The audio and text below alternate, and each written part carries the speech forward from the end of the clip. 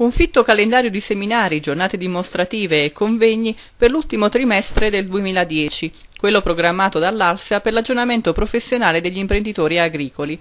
Un totale di 45 incontri sul territorio regionale, organizzati dalle aziende agricole sperimentali dell'Agenzia.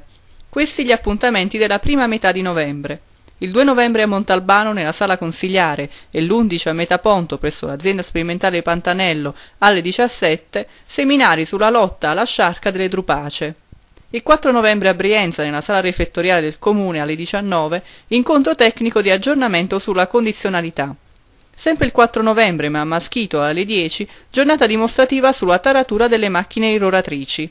Il 13 novembre doppio appuntamento, a Rotonda alle 9 presso l'azienda sperimentale Pollino mostra e convegno la biodiversità agricola nel settore orticolo e cerealicolo nel Parco Nazionale del Pollino.